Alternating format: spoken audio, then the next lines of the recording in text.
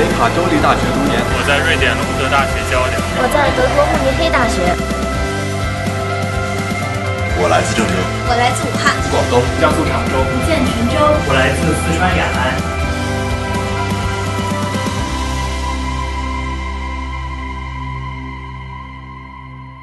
现任校长实行高压军管，监视学生，这社会名流纷纷来信，这个浙大校长啊，怕是推不掉喽。